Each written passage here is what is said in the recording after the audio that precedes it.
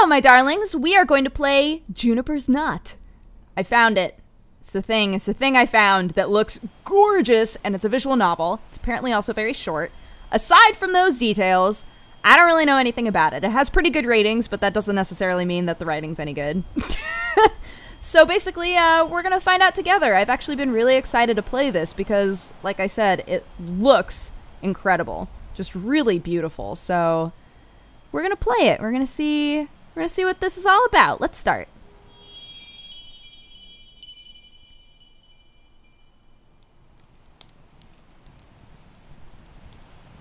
Hmm. Much of these stone walls and floors have weathered into dirt and dust, revealing the foundation. Much of the ceiling, too, has crumbled to the ground, layering in flecks and bits. Below me now is such tired soil. Tired, tired soil. Pah! There isn't much to do here but burn dead leaves and wait. Watch the smoke rise, curl up fresh, and tickle the inside of your nose. Dull as bones it is. But what can I do? I'm stuck. Some might say cursed. I'd rather say bound. I don't like to think very much about it. I kneel to the small fire I've started, taking up a few embers and loam into my palm. It's this glow that stirs me and reminds me that my heart is still beating. I bring the scorched earth close to my face, shut my eyes and breathe it in. I taste it and spit. It's barren. I'm probably going to wait here forever. oh, I'm a cutie! I'm a cutie pie! What? There's an unnatural rustling not far off. West? West, huh?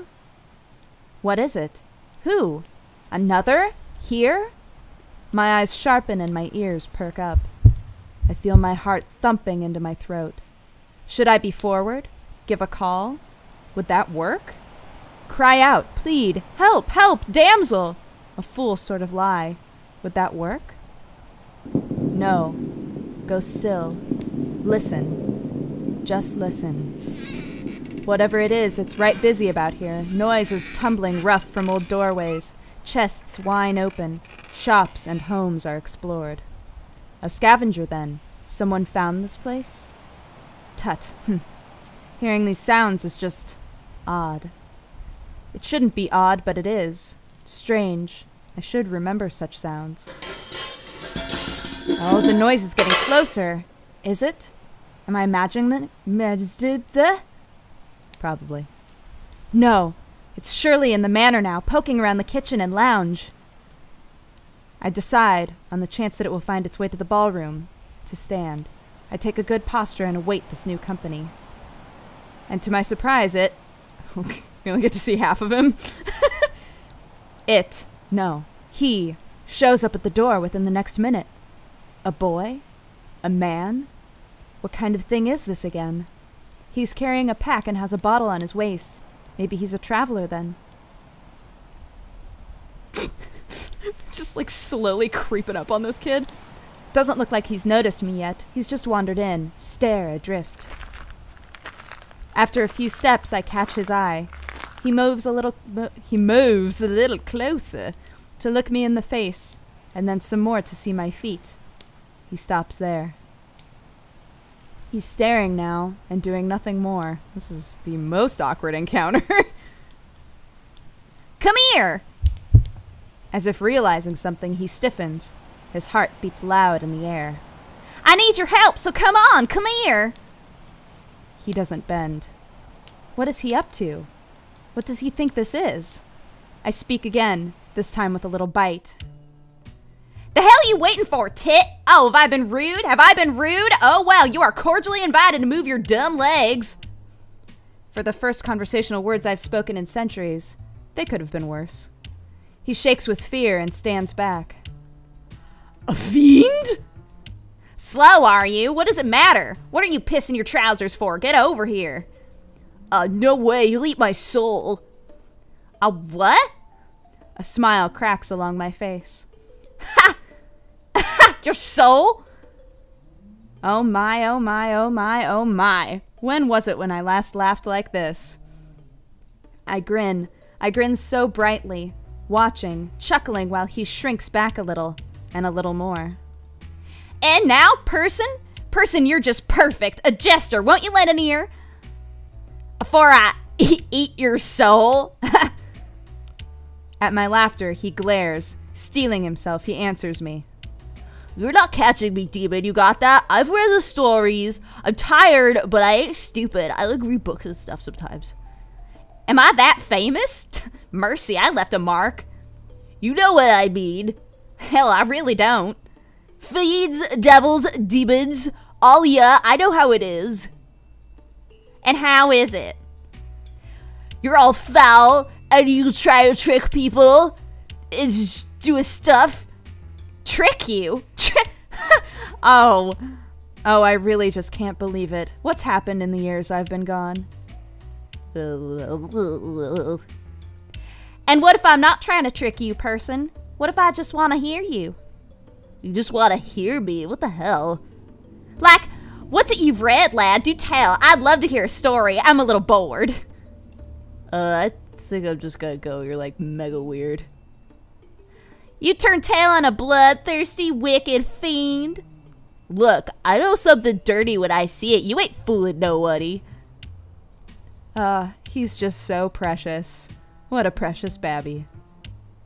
All right, all right. I tell you what. I tell you, I like all us fiends, devils, demons, and plainly trying to win your extravagant soul through my dastardly wit. Honest and true, I'm a rook. But please, please, at the least tell me of what you've read. Well, how do you uh, listen to me so much? Because I'm bored, and your voice, ugh, your voice, I just, I could just swoon. horse feathers. Who wrote this? I really do want to listen. Would you be so kind? Ah, he's genuinely considerate. Such a delight. I do want to hear him. In the meantime, I look him over a little more finely. He's got a fair face, but through the fabric of his shirt I can see that he's muscled. A surprise! Even the soldier boys seemed a bit lean back in the days I rode at Marlay. I wonder what it is he does. He smells like an animal, in the most pleasant way that can be said. It's quite good. They're gonna touch butts later. Also, he has the faintest scent of watercress about him, mingled with black oil. What a peculiar lad. That is a peculiar. That's that's weird. Yep. Huh? I really better not stick around here. I guess I can tell you some things though. Uh Yeah, I guess I can tell you. Long as you stay put, you hear? What's keeping me from you is more powerful than I care to challenge, person. Yeah, okay, whatever. Here's a story, one from a book I read a lot when I was little. Oh, pardon, pardon. I find it very hard to think of you any littler. Would you shut up, God?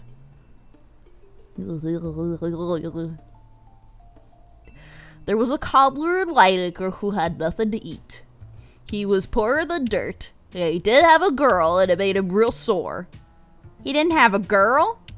a dabe, like a like a a, a honey, a honey bun. She didn't have a wife. Oh, okay. Continue. While he was walking down an alley, he met a man. He had on a dark cloak with a hood that covered his eyes, so the cobbler couldn't make heads or tails of it. He stopped and asked the cloaked man if he'd like his shoes worked on. Th that's stupid. Why would he do that? Because he needed work, because he was real poor. Well, he should have gone around ruining shoes if what he needed was work. Anyway, the cloaked man said he wasn't wearing shoes, but he could use a new pair. But obviously the cobbler's a cobbler, so he don't make shoes. He tells him that. And the cloaked man says, actually, I could really use some new shoes. And the cobbler looks at him weird and says he can get them if the guy's sick. And the cloaked man said, will you do that? I do some in return. And the cobbler says, like, what? And the cloaked man says, like, any, anything. Let's say anything. He leans forward darkly as he says this. I smirk at the action. Now, I know what you're thinking. I've heard this one before and know how it goes. Well, you don't. Because the cobbler says, Perhaps not. And he walks away. How exciting. Well, here's the thing. So while he's walking, he notices the alley's longer than usual. Well, he doesn't think about it. He thinks he's just tired from work. And he keeps walking. But while he's walking, he sees another man in a cloak.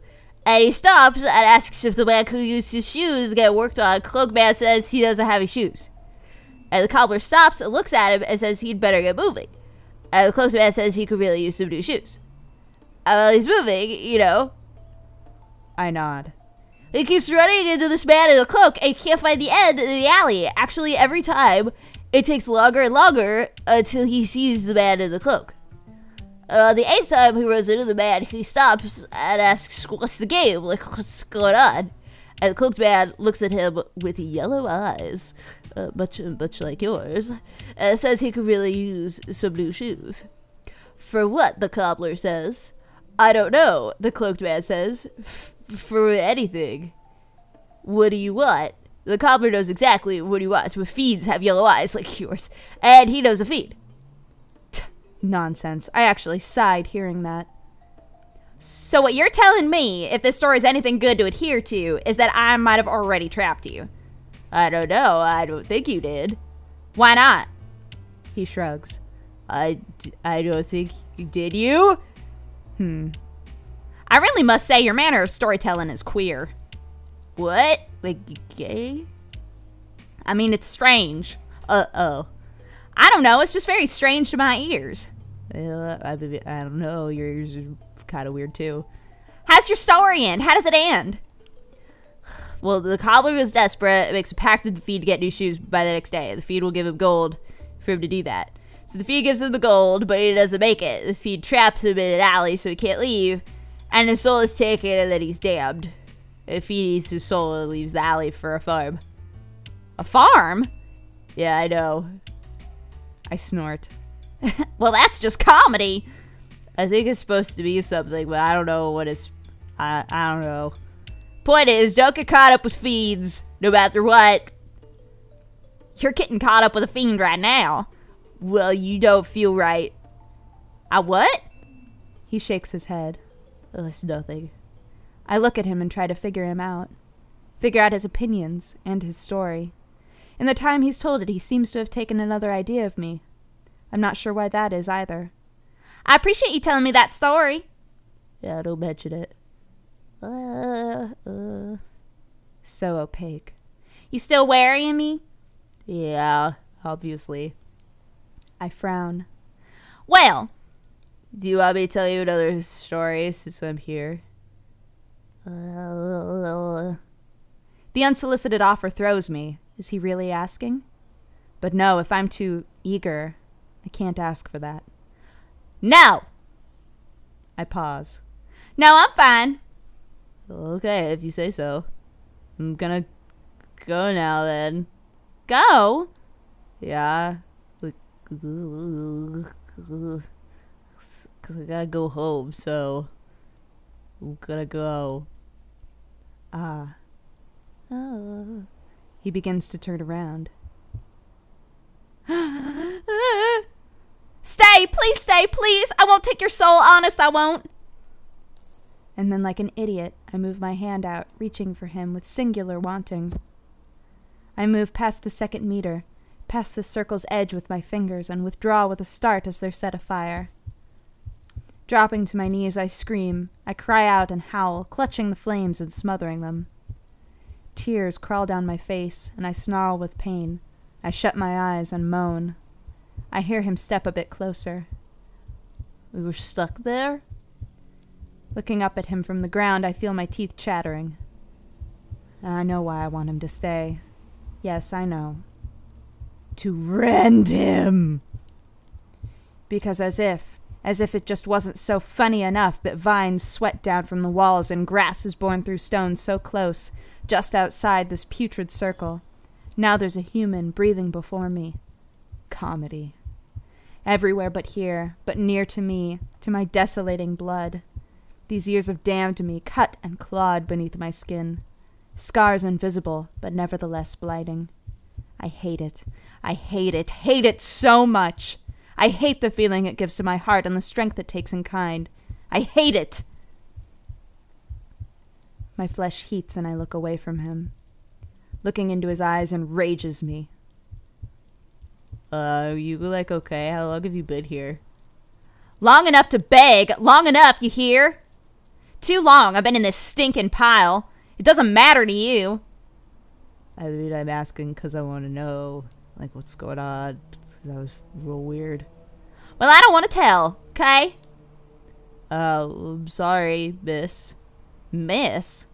I take a look at my clicking, stuttering hand, my slight still. my. With tears.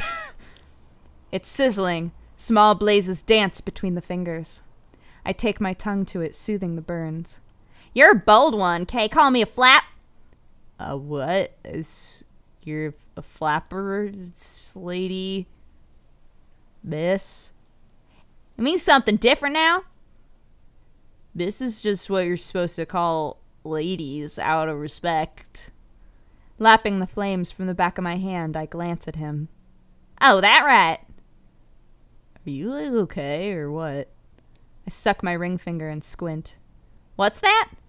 All right, you fine? Is that okay? All right? All right, yeah, I'm a fiend. Yes, I heal fast.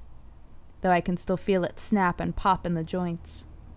I whistle cool air through my digits and take myself from the ground. Are you gonna stay? I, uh, I mean, I could. Oh.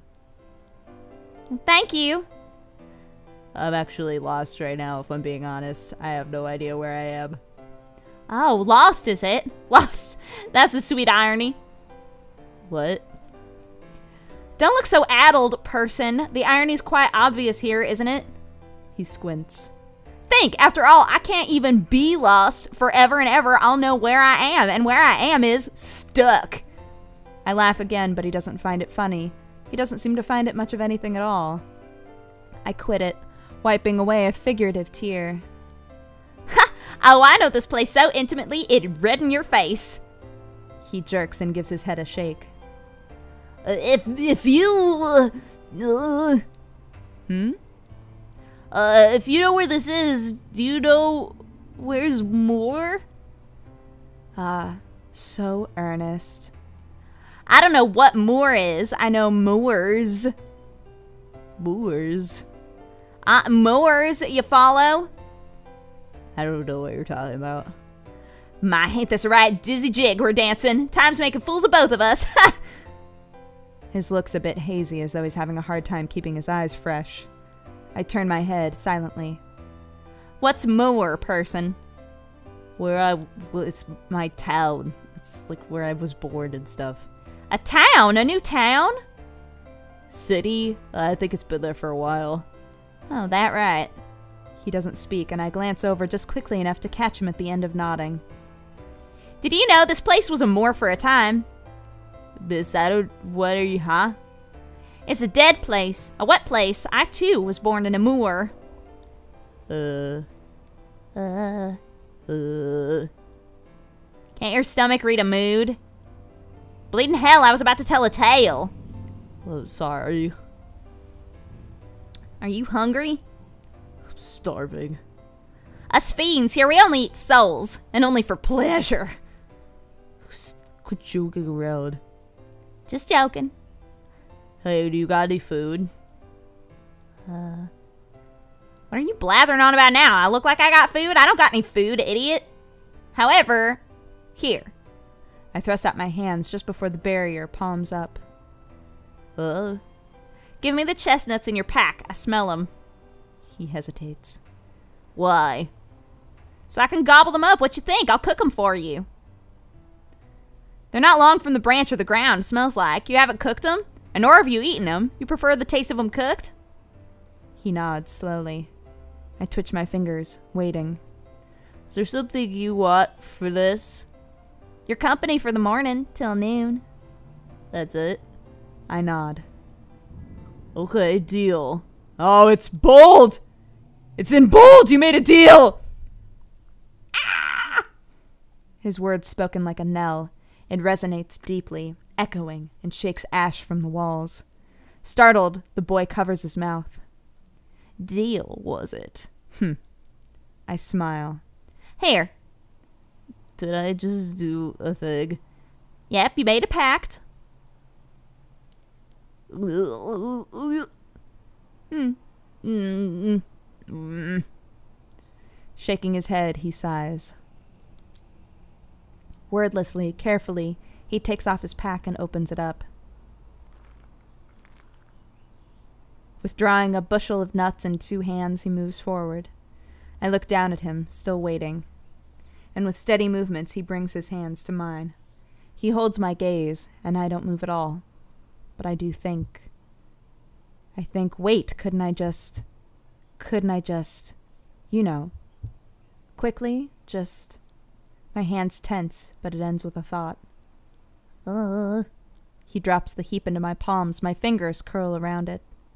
Again, I turn up my lips. Seeing this, he hops back. Give me just a moment. I take all but one to my left hand, holding the last between my right thumb and forefinger. Opening my mouth, I bring it between my teeth and puncture it with one of my fangs. I bite through the shell, making a rough cut from one end to the other, and take it out. Observing the inner flesh of it, I spit out the shreds. Satisfied, I go on to carve the second, third, fourth, and so on. When I've finished, I hold the chestnuts aloft and make a hearth of my hand. This'll take a while, person, but not so long. Might we talk some? Uh, sure. Then have a seat. Where do we leave off before your stomach so rudely interrupted me?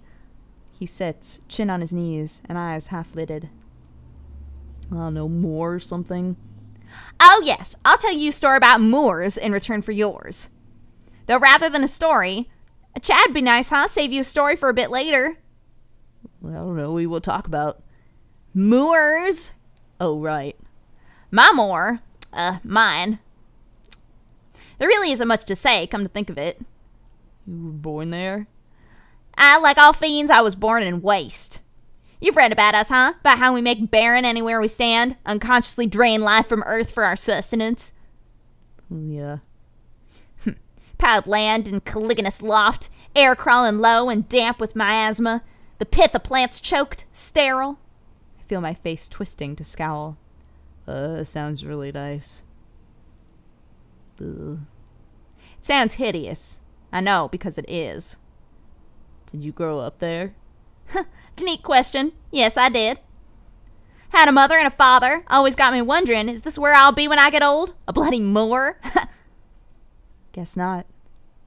You left it then. Left it for many places. What was it like growing up there? Tedious. Maybe I shouldn't have brought this all up, huh? You just don't want to talk about it. That's okay. No, it's not a matter of okay. There's just not much of anything to talk about. It's all very, uh, colorless. Ooh. What about yours? By what? Your moor. Oh, it's not really anything special. It's just like a city. Typical to me is not the same as typical to you. Well, it's big. It's loud. The streets are packed with folks, lots of smoke and brick. My mom and pa run a farm near there because they're crazy. Oh, is that where your scent's from? My scent? You smell like herbs and horses. It's kind of adorable. Ugh. You also smell like black oil, but I'm not sure where from. The city's pretty modern. I have to lift canisters of oil from place to place every Wednesday.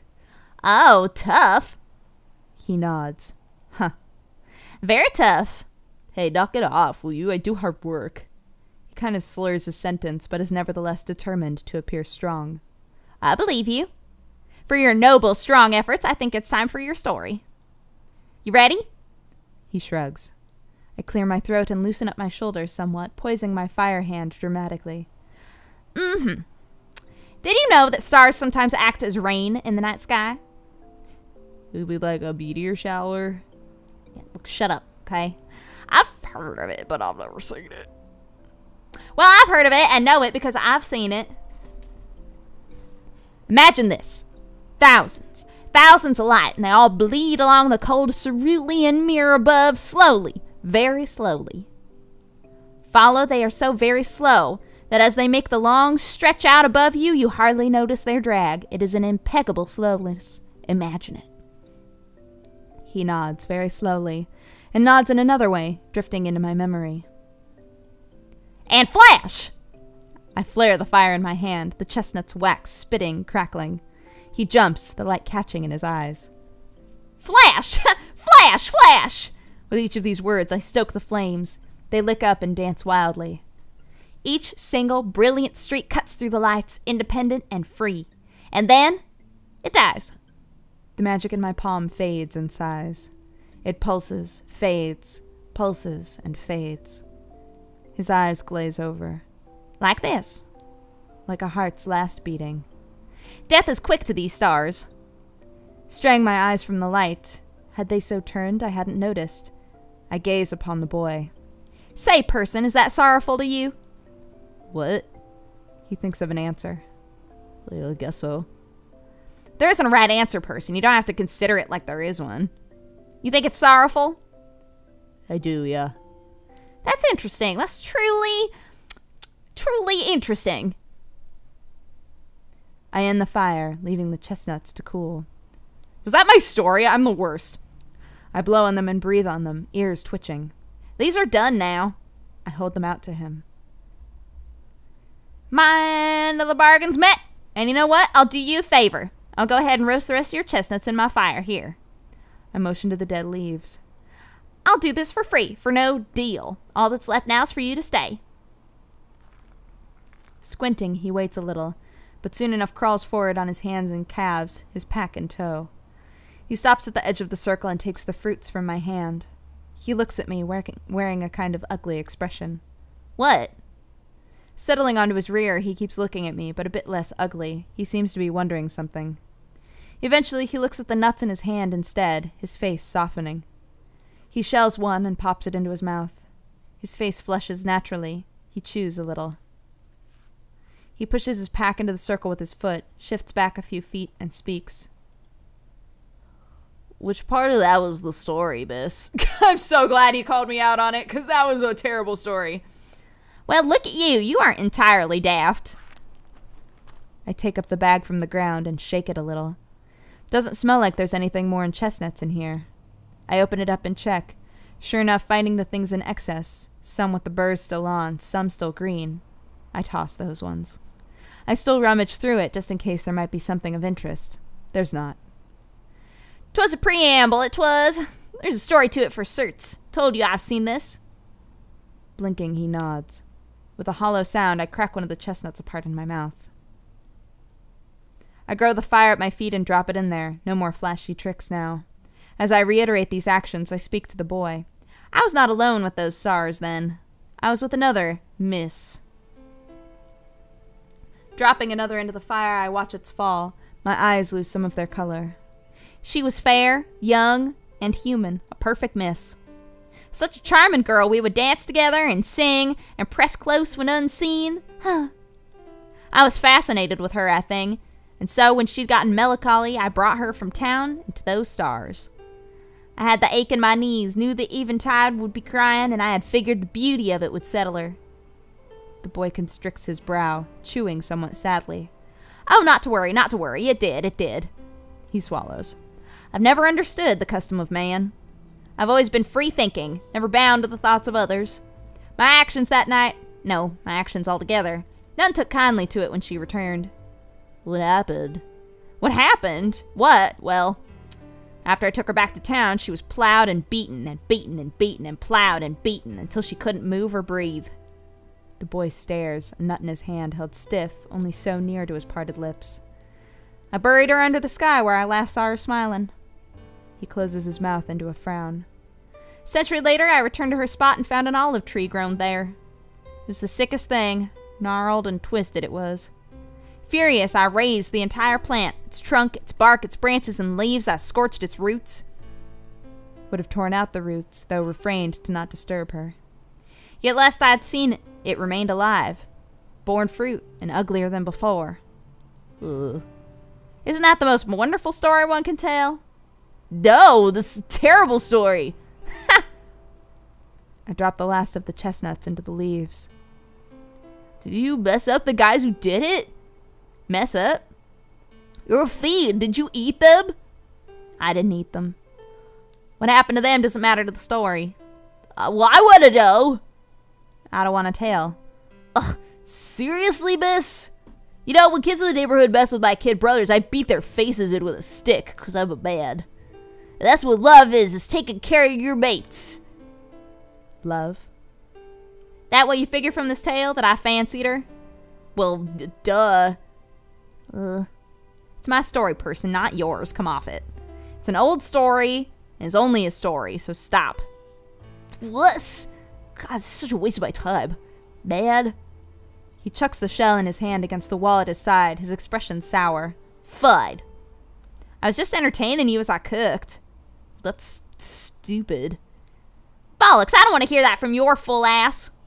Well, it's stupid. It's stupid. F- forget it. What's this? You starting? Your stones dropping now? Drop 'em any further, I'll tear 'em out. Tear out your tongue, too, you hear? Don't start with me. The boy freezes, hand hovering over his last chestnut. I'll rip your legs off, you understand? Don't you start with me. Last thing you need to be worrying over is your soul, since I'll rend you limbless if you start with me, and there won't be anything to be holding that soul at all. You start with me, I'll kill you. We clear, person? Can't even get to him. I don't know why I'm threatening him this much. He quickly nods. I chuckle. You're a cute thing, aren't you? Quailing so tender. I can't move from here, person. You know that. Quivering, he speaks up. Oh, it just sounded real. Oh, did it? The boy lets out a loud sigh, shaking as it leaves him. Still vibrating with fear, he fumbles, opening his last nut. There looks to still be bits of shell on the fruit, which he does not notice until it's in his mouth. He frowns a bitter frown and calms down somewhat, now distracted by the taste. Some of these are finished, mind. I nod at the fire.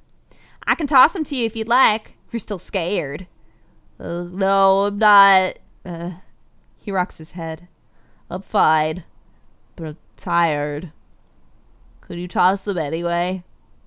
Yeah, surely. Surely could, also shall, but only if you agree to stay with me till sunset. Is it noon already? It is. I sit down myself, lounging across from him. He stares, his vision slowing and jumping and trying to focus. Eventually he squints, leveling his eyes on me. Uh, did you say you do it for free? Not this person. I said I'd cook these, and I am. He furrows his brow and frowns. Fine, I'll stay with you. Deal. The ballroom rattles with the sound. He isn't surprised by it. I smile again. So is that what you are? Tired? Yeah. Pick up a chestnut and throw it to him. He catches it somewhat dazedly. How long have you been gone from your moor, person? I don't know, like two days. I throw him another. Oh, was that a long time? No. It's a joke. Laugh. I don't want to. If I laugh and basically be like be laughing at you, and then you'll rip off all my bits. Answering with a greater joke instead of simply laughing. You really are a jester. What are you talking about? I send one more his way. My existence. Uh, My predicament and existence together are the greatest joke in all history. I know this, and I've missed half of it. Stop it. Such a soft lad. I tilt my head and regard him. I keep leafing through my head book for the memory of another like you, but I'm finding nothing. And I have so many memories, did you know? So many, so many travels and delights and regrets. Boy shouldn't be so soft. World's so rough it'll shape him ugly. Languidly breathing, the boy eases into his arms a little more. Or it was. It was a rough place. If you don't know Moors, maybe this world's also soft now. It'd explain you. He blinks. Hi, kitty. Okay, I'll give you. A, I'll give you a second to settle in. You settled? You good? Okay, this is a story about a demon and a little boy who found the demon, and now they're eating nuts together. Okay, cool. You're all caught up. Where I was raised in my moor, that was quite rough. You know why I'd laughed earlier when you'd mentioned souls? You know why I joke about souls? He blinks. So many of us fiends are so obsessive over souls. It's just extraordinary. It's just, it's just extraordinary souls, not unremarkable ones like the way yours feels. Have to look for those mature, spirited humans, their souls heavy with character and experience. He closes his eyes. A newborn soul, for example, won't do anything for you. It is special, though. Yes. A newborn soul is quite pure. Quite pure, really. His back rises and falls. Some, some stuff. Exquisite. I chuck a chestnut at his hair. It bounces off and goes to the ground. He doesn't even flinch. I look into the fire.